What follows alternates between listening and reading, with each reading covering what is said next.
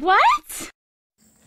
Jody Sue Brown claims she does not make money on summer wells at all, but check this out. And I'll be right back to tell you what she has come up with.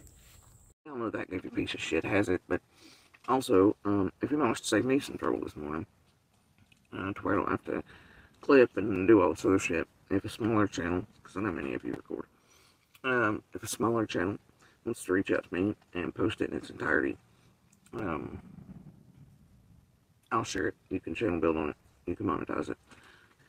Anyway, otherwise, we'll get there. Anyway, um, because there is some important shit. I don't need any more shit added to my list currently. Um, So Jody Sue, who never makes money on summer, according to her, uh, she made like a 20 hour long live and she feels like it would be too much work for her to go back and make clips from the live. So she's made an offer for a smaller channel to reach out to her and use her whole entire 20 hour video. Um, they have to post it in its entirety with no commentary, she says, for up to 48 hours. And then they could break it down. But she does say she gives them permission to monetize on it and to build their channel using her video content, which um, surrounds the Summer Wells case. That's where Jody Sue came from. We all know she is a suspect slash witness, one of the two, or maybe both, in the Summer Wells case.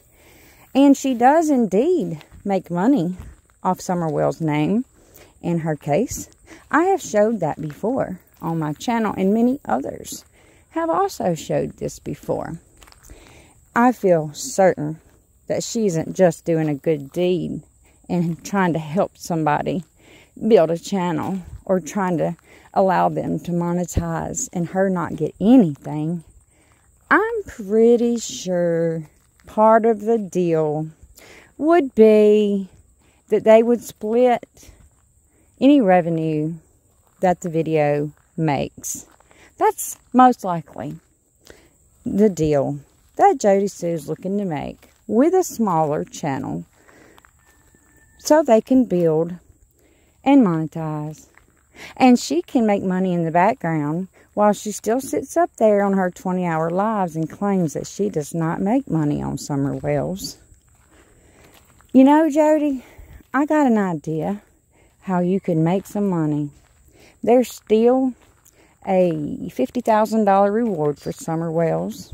If you give the information to the FBI to allow them to find Summer, her her remains, whichever it is, and give them the information about what happened to her, I bet you could collect that $50,000. Also, to everybody watching the video, that reward's open to the public. It was offered by Ryan Upchurch, and it does still stand as of a few days ago when he said so. So that's all, guys. I just found it pretty, um, I don't even know the word for it. Hmm, intriguing, amazing, amazing. I'm amazed Jody Sue wants to help small channels. Normally she sits on there and puts everybody down and talks bad about everybody and tries to discredit people, but today she wants to help. So, what do you think about this offer by Jody Sue? Let me know your thoughts down below.